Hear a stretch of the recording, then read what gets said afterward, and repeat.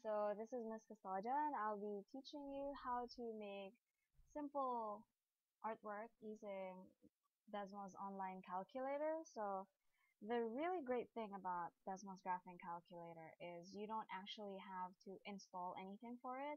So basically all you need to do is go to www.desmos.com slash calculator or if you can't remember it that long, um, just go to desmos.com and you'll be taken to this page and it says launch calculator. So just press that.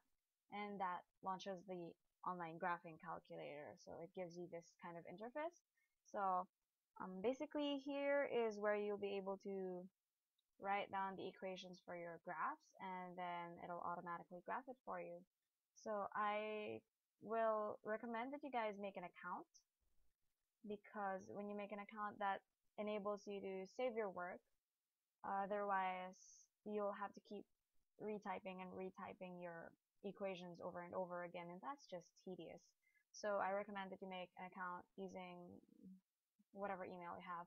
Okay, um, so first things first, um, this is the part where I teach you how to write the equations based on graphs. So basically, you can write um, whatever equation you like. So let's say I want a line. So let's say y is equal to 3x plus 5. Okay, so that's this already gives me a line. So that's in red. And then if you deselect the equation, it gives you that. You also have the option of choosing projector mode using this part um, right here. But quite frankly, I'm not a big fan of projector mode unless I want my drawings to just look cute or whatever.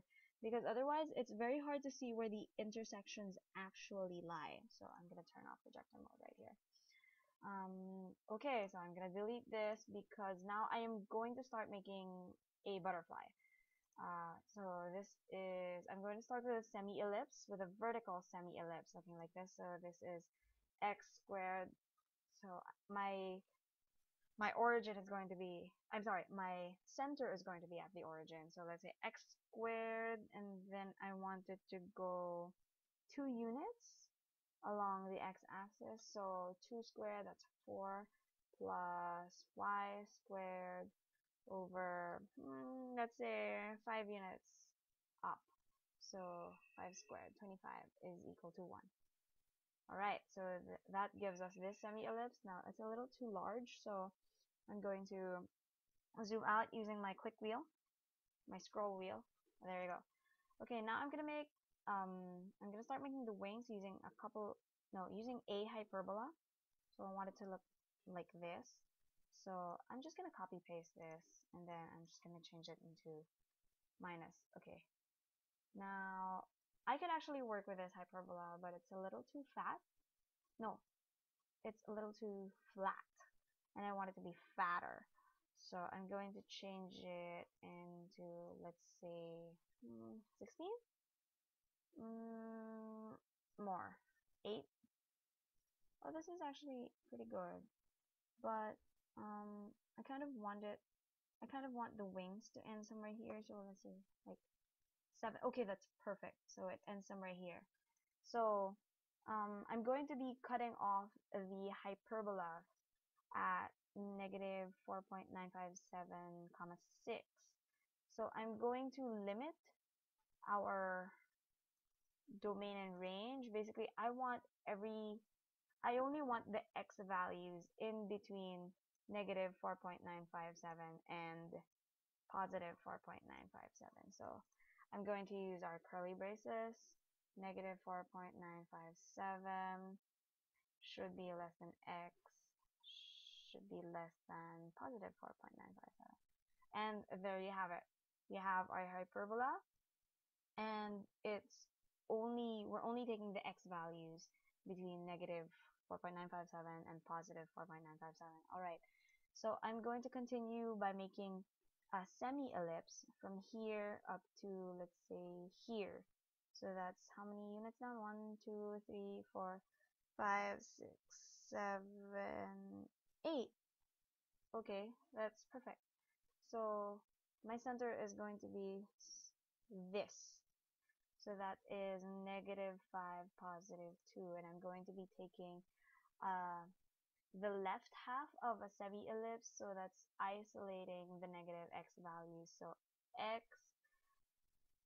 plus 5 is equal to, um, let's say, 5 over 4 square root. So when I'm making the square root sign, I just typed SQRT.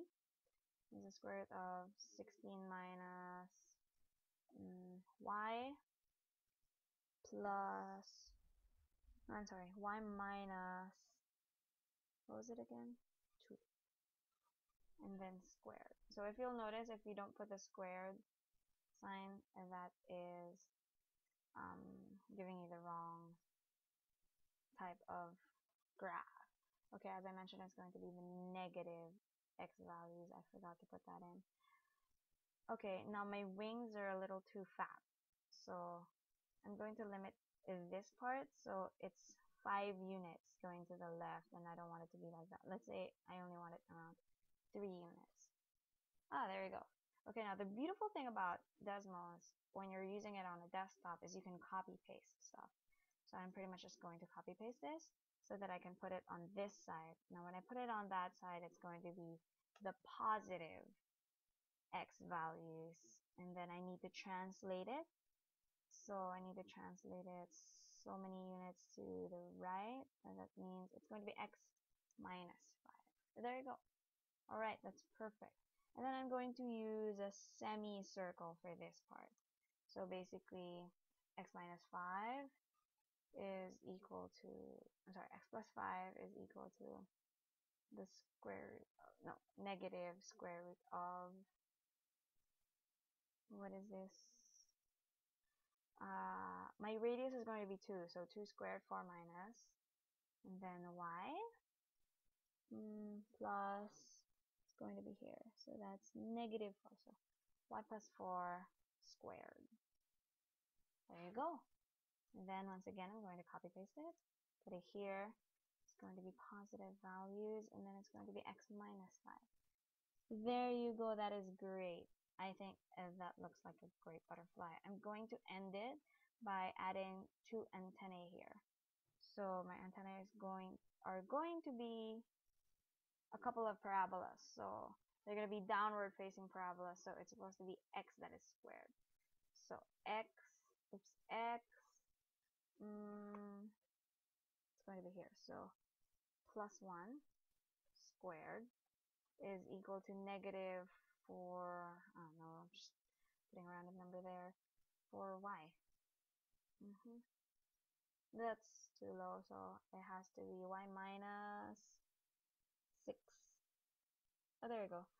But it's a little too wide, so I'm going to get rid of this, maybe make it a 2, no, maybe make, oh, that's perfect. That's very convenient. All right.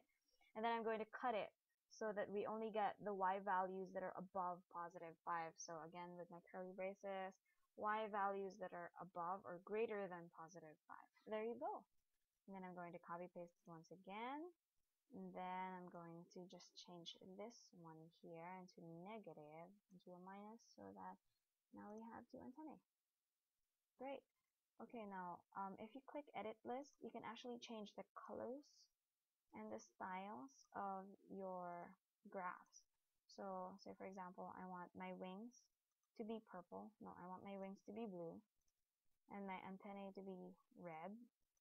Okay. You can also change it into like, uh, okay, I want my antennae to consist of broken lines. And then this is going to be uh, blue, sorry. This is blue, this is blue, everything is blue except for this should also be blue. And then the body of the butterfly, I'm going to change it into, sorry, edit list. I'm going to change it to, let's say, orange. Or just orange. Okay, that's perfect. Done. Okay, now we actually have our finished butterfly here. We put it back to projector mode, you can see it a little bit more clearly now. And you have your list of equations here. So that's pretty much it. It's actually not that hard to make a drawing based on using conic sections using Desmos online calculator. So you can save it here, save changes, and then just give it a title, butterfly, Whee! and save.